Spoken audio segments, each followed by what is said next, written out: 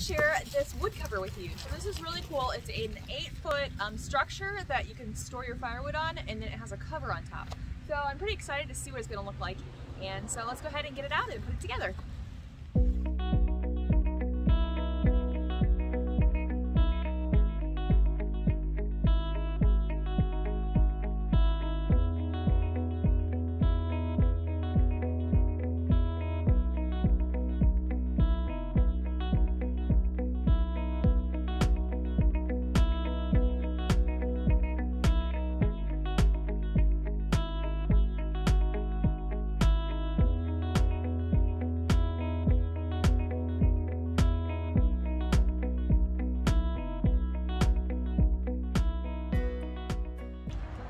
Alright, so here I have the rack all set up. Um, it didn't take long, maybe 20 minutes.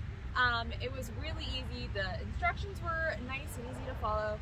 Um, so this is great because it's uh, weatherproof and uh, it won't rust and it keeps the logs up off the ground um, and that way they can dry out quicker and burn better and stay dry. And of course the top, the tarp along the top uh, helps keep them dry as well.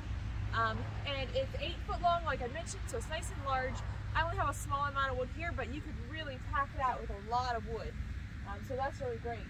I think this is going to come in really handy um, just to store our logs, plus it looks very nice too. Um, so that way if it needs to sit outside, you know, sometimes a big wood pile can be an eyesore, so this is really nice. Uh, but I hope this is helpful to you and you can get yourself one of these nice log storage and you enjoy it.